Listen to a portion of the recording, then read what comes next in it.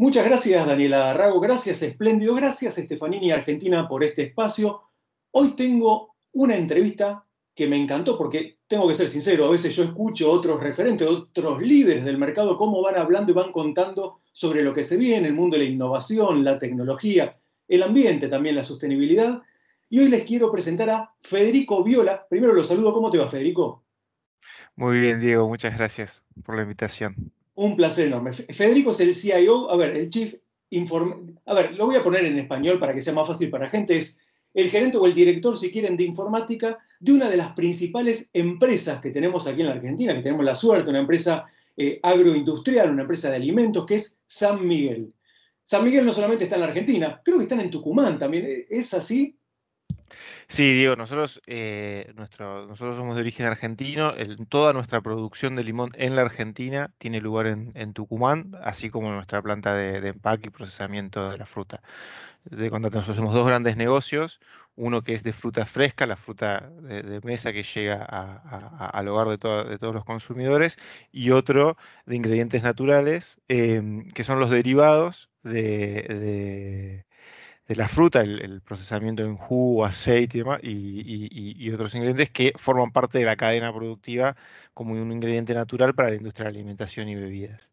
Bueno, es uno, como decía, uno de los principales exportadores, o sea, gracias a empresas como San Miguel, Argentina está exportando al mundo, tiene presencia en Perú, en Uruguay, Sudáfrica también.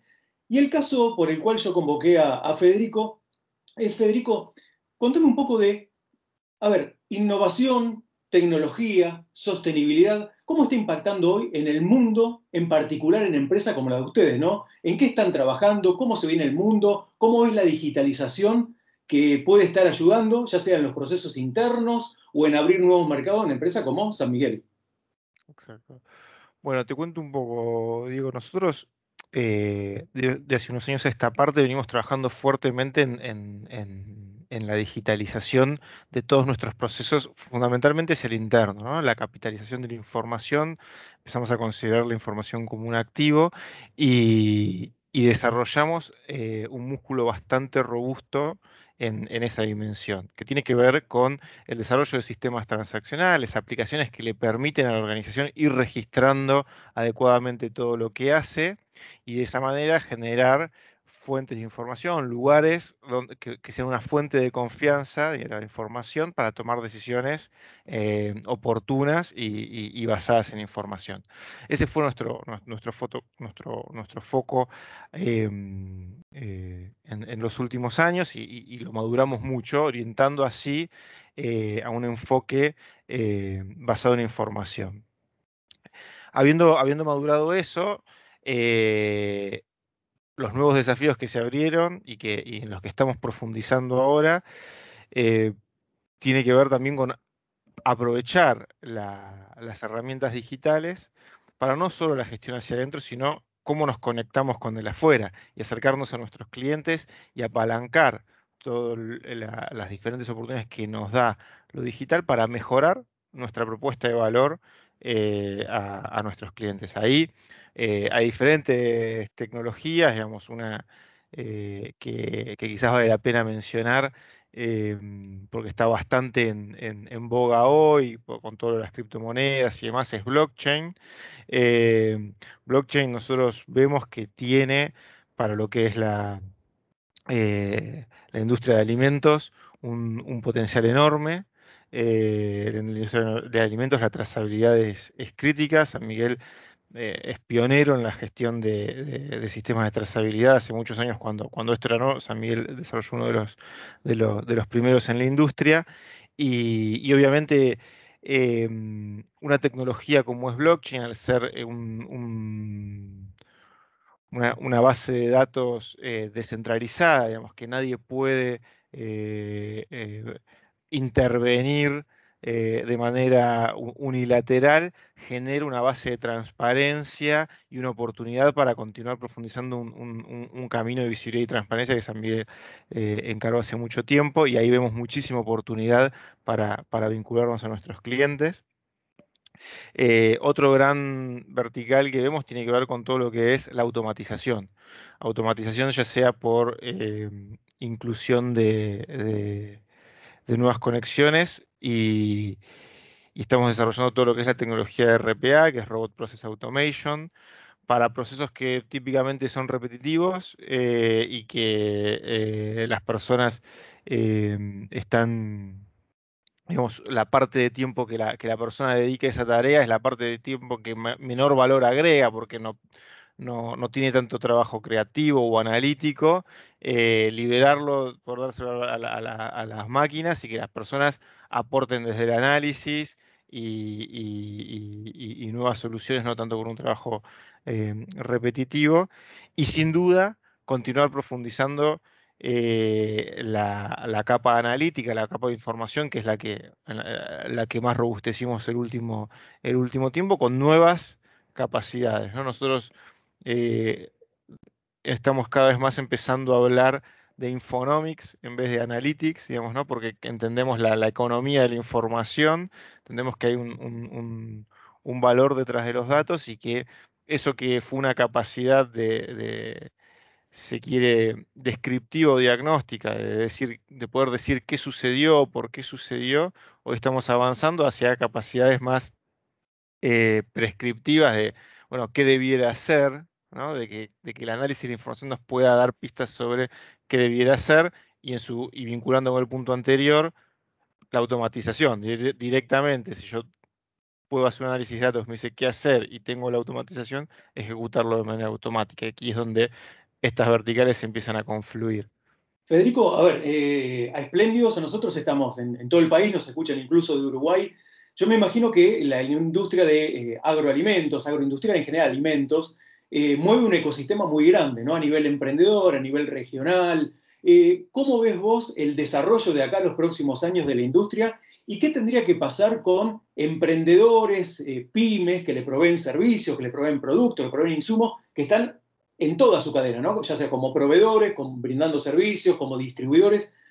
¿Qué es lo que nos está faltando a nosotros para acompañar a este crecimiento fuerte que está teniendo la industria? A ver si en todo el país que nos está escuchando tenemos algunos emprendedores diciendo, che, a ver, ¿cómo puedo yo contribuir o desarrollarme para poder aprovechar esto que se viene, que es un cambio y que en definitiva en el mundo de los alimentos y potenciado por la tecnología, esperamos que se nos abra un nuevo mercado o se incremente más eh, el mercado, la potencialidad que nosotros tenemos?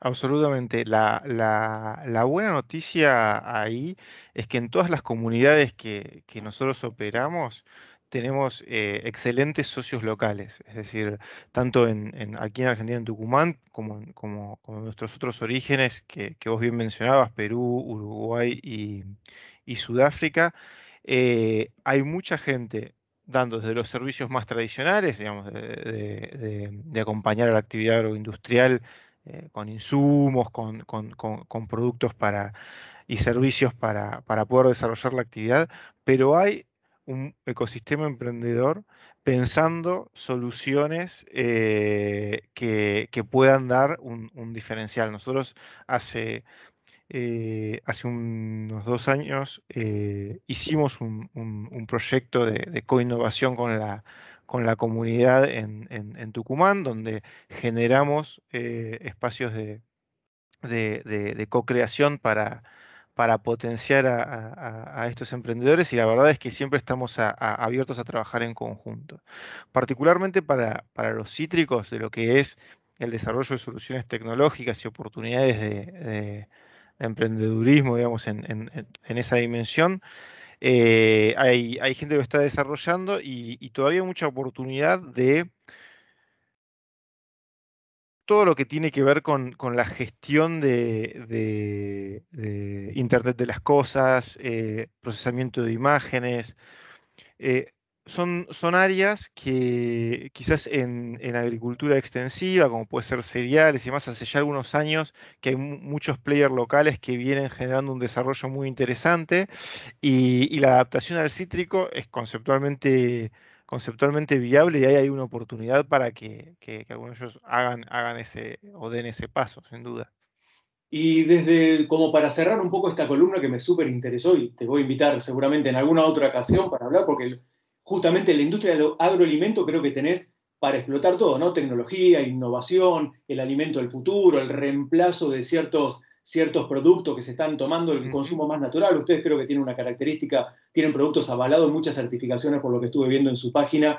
Eh, ¿Cómo, si vos tuvieras que darle un consejo a la gente, a los emprendedores que nos están escuchando, de nuevo, emprendedores, pymes, para, teniendo en cuenta lo que es el futuro, la alimentación y la posibilidad de exportar, ¿qué nos falta en Argentina? ¿Qué cosas crees que tenemos que nosotros saber hacer mejor o si tenemos la capacidad, saber vender mejor? ¿Cuáles serían esos tres, cuatro consejos que vos le darías a esta gente, el público espléndido que nos está escuchando?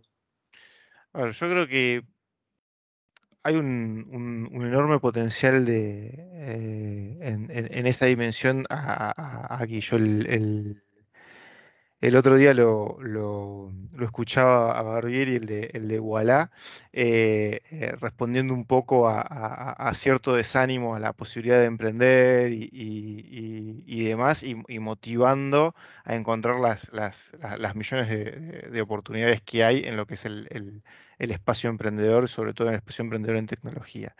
Entonces, yo lo, que, si, si, si, si me poniéndome en, el lugar de dar consejos, que digamos que no sé si es, si es, mi lugar, pero si, puedo eh, recomendar algo ahí, creo que es estar atento a las, necesidades. Hay, necesidades de la industria eh,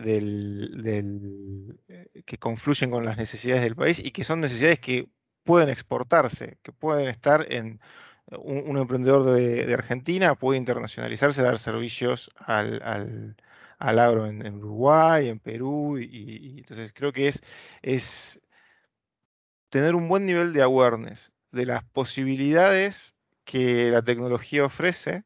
Entonces, estar, al, estar al, tanto, hablábamos de blockchain, hablábamos de imágenes, hablábamos de IoT, todo ese potencial y, y, buscar las oportunidades. Entonces, hay casos probados de, tecnologías que funcionan muy bien en, en agroextensivo, en soja, y que ya han tenido ese desarrollo. Entonces digo, bueno, hay un espacio de prueba que alguien con, un buen espíritu emprendedor puede decir, esto que es probado, esto que ha, que ha generado un, valor diferencial en una industria exitosa en la, en la, exportación, ¿a qué otra industria lo puedo llevar? Lo puedo llevar a la fruta, lo puedo llevar a, a, otra de esas y, y, trazar esos, esos paralelismos creo que es una gran oportunidad.